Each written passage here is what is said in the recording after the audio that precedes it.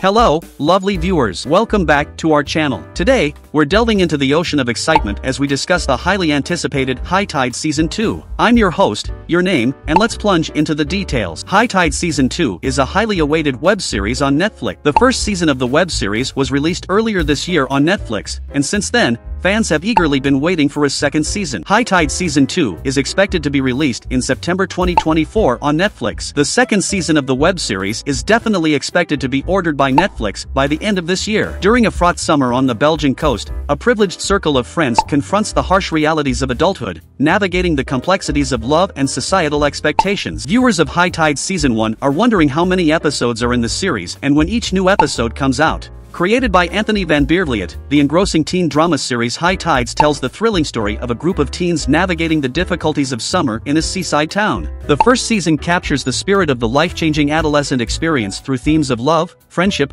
and self-discovery. After a few Flemish language shows that Netflix has acquired over the years, this one is the newest to enter its lineup. Several dubs and subtitle choices will be available on Netflix, including the original Flemish language option with closed captioning. The dubs will be available in English, French, German, and Italian, among others. The cast of High Tides includes Pumlian Tages, Willem de Schryver, Ileha Altina, Ruth Becquart, Geert van Rampelberg, and Jasmine Sendar. The first official Breakwater trailer is here previewing an upcoming thriller starring Dermot Mulroney. Breakwater was written and directed by the official Silver and the Book of Dreams trailer for Prime Video's upcoming fantasy film adaptation, based on Kerstin Gier's. That's a wrap for today's deep dive into High Tide Season 2. We've got the release date, speculated on the plot, and now it's your turn. Don't forget to like, subscribe, and hit that notification bell for more oceanic updates.